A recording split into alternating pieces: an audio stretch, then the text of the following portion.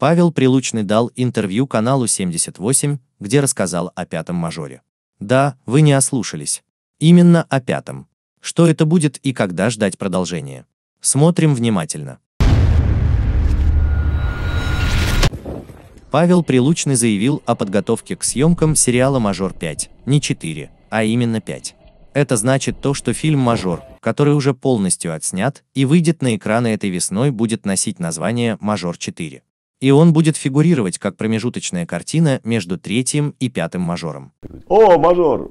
Снимать пятое продолжение готовится в апреле этого года. Также Паша добавил, что будет 10 либо 12 серий, так как сценарий полностью не дописан, а он лично уже прочитал первые 7 серий. Но рассказать, чего в них ждать, к сожалению, для нас Павел отказался.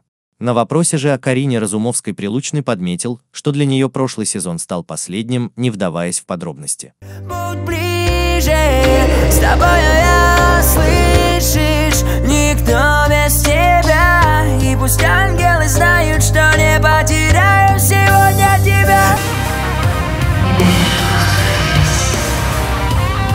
И без остановок я дышу тобой.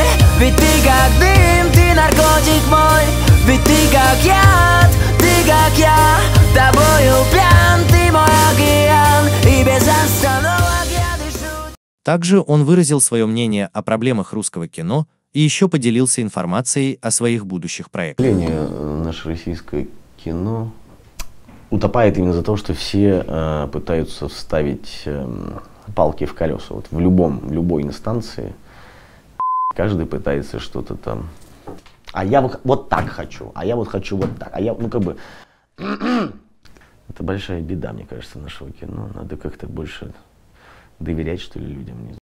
Так что, мои дорогие зрители, запасаемся терпением и ждем выхода пятого мажора.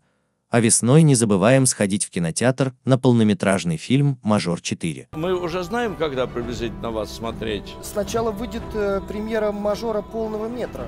Э, да, закончили полный метр, в кинотеатрах скоро выйдет. Да. О. Вот это, это первое, чего стоит ждать зрителям.